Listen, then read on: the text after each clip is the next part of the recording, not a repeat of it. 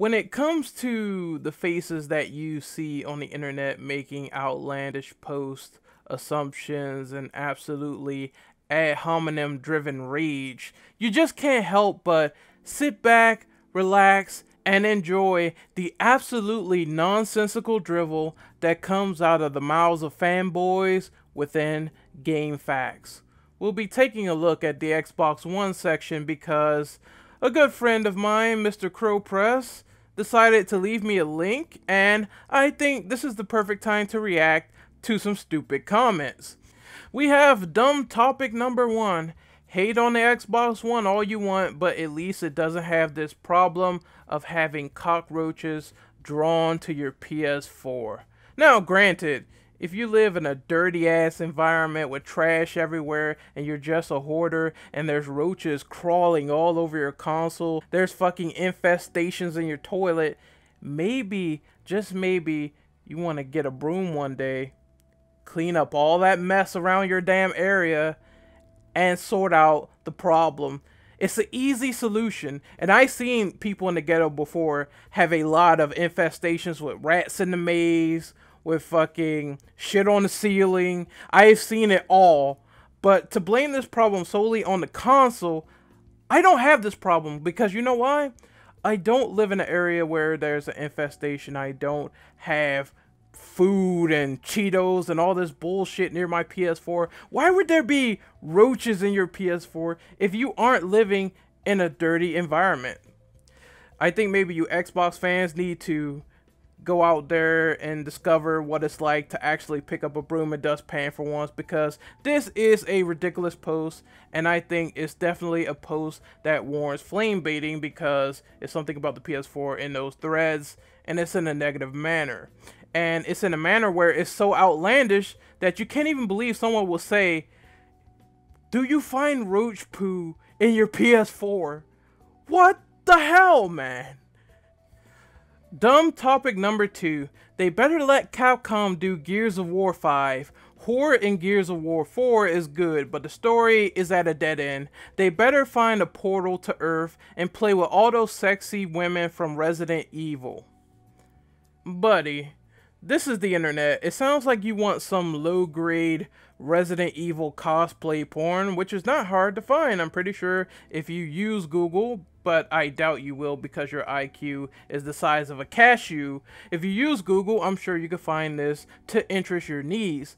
But saying that the Gears of War story is at a dead end is quite ironic considering the fact that Resident Evil 7 is also like this where they have ridiculous concepts and if I were to get into spoiler territory, which you can click off this video right now, they have some bullshit plot thread going on where they think that the gamer is so stupid that we don't know that this character claiming to be Chris Redfield is probably not Chris Redfield like we all suspect.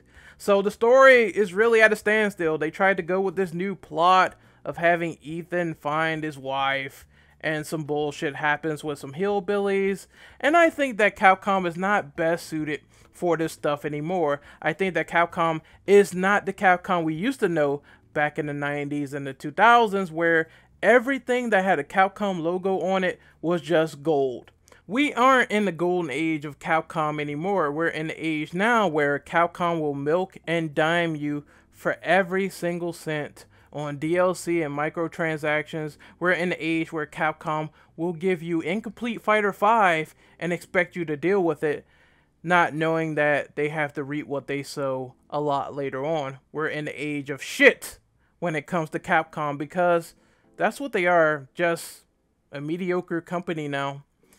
So why would you want them to do Gears when Gears itself is kind of going on a downward spiral because after Judgment there was no coming back.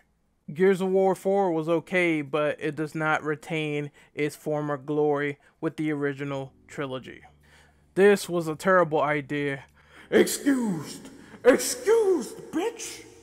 Dumb topic number three. I think Microsoft should have kept Kinect. It's sad that they had to remove it just to compete with Sony. They should have stuck to their guns because it still has such potential for all types of gamers. The device was doing so well and had an audience up until they removed it. The fastest selling consumer electronic means people obviously agreed it was a unique device. The PS4 camera is a cheap Me Too version and could never reach the level Kinect achieved. Am I the only one who doesn't give a fuck about these peripherals? Just saying. but since you asked so kindly, I will answer your question in a pretty monotone demeanor, similar to the original Silent Hill producer Tomm Hulett.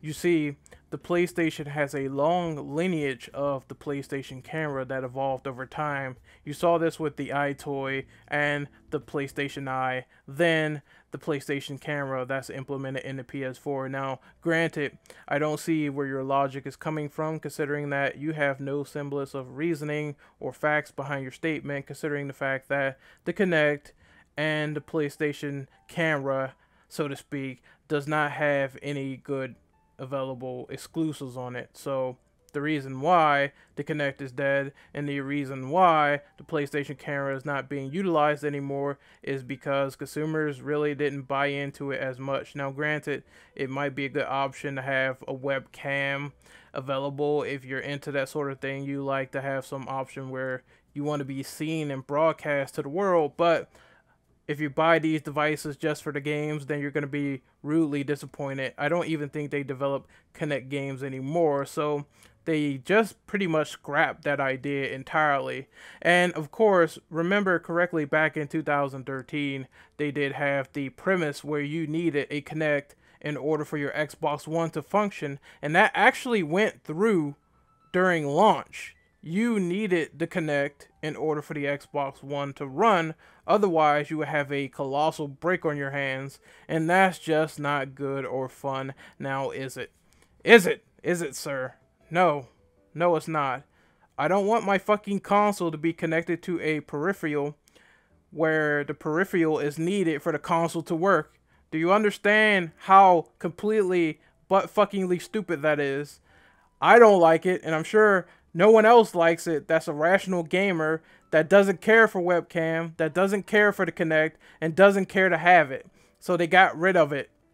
It's common sense, it's business. What works does not stay. Do you understand? Good, good, I hope you do. Once again, they have moved on now to VR. And while VR is completely, totally, butt fuckingly expensive, I just don't buy into the VR craze, but some people have said that some of the games that have released on the PlayStation VR has been fun. It's been a fun experience, but they don't release games on the regular for it. I mean, if you're going to push some type of hardware, you need the software to accommodate this. Bottom line, if you have hardware that's just all about shovelware and no games releasing, then it's not going to do well with the gamers who want to actually play games on that product and eventually they're going to abandon it or not buy into it in the future. This is how the nature of consoles work. When you have no games, when you have no games, why even buy the hardware? Makes no sense, doesn't it? Yes, it doesn't. Delete!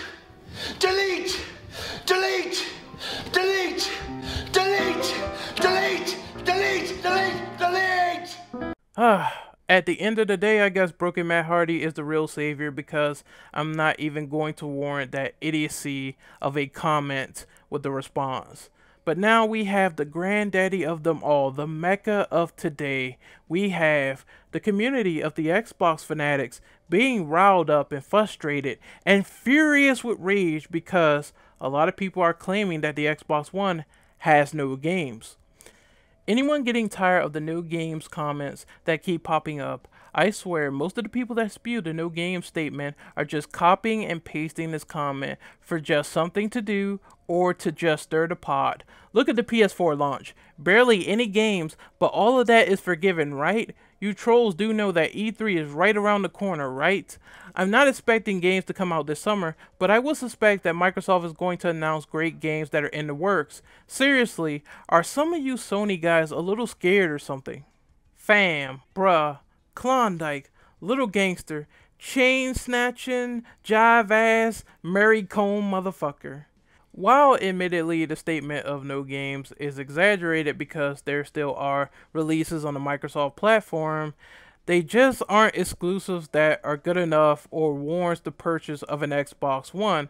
A prime example is Windows 10. Even though the story isn't that great, the exclusives there are still on that platform. So if you want stuff like Halo and Gears of War 4 and you have a PC, what reason is there to at least buy an Xbox One? Now, granted, I had my own personal problems with Gears of War 4 on the PC, but I still managed to get the game to work well. It runs well, and I enjoy it on that platform. So why would I go and get an Xbox One specifically for a game that I can play on my PC. The problem is Microsoft has a hard time really nailing down exclusives that people want.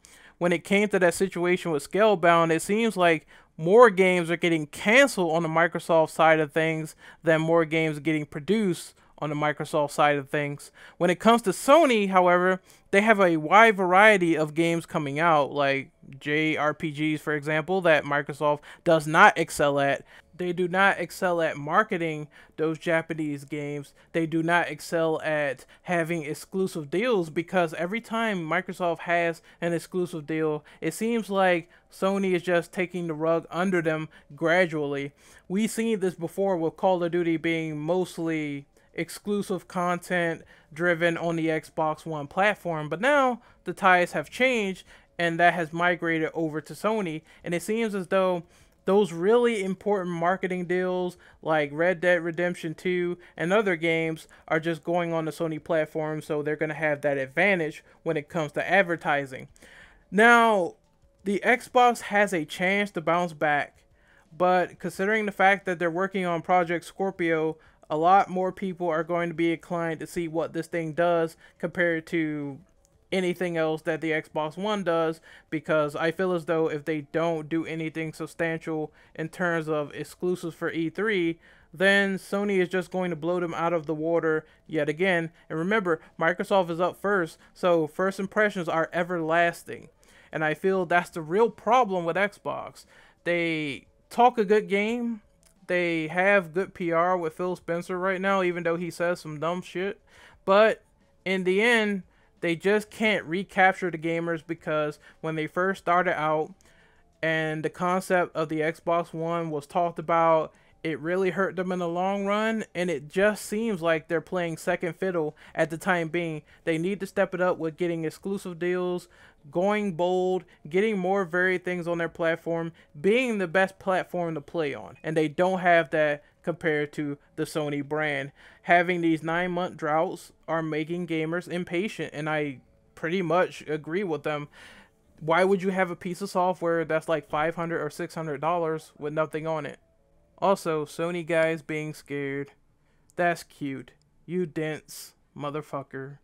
If there are good exclusives to play on the Sony platform and things stay the way they are, then why would any PlayStation owner be scared of Microsoft this is why being a hybrid console owner is important, or owning more than one platform. I own the PC, I own the PS4, I reap the best of all worlds, while people who are narrow minded to fuel this console war, stuck to one platform, are just stuck with one console.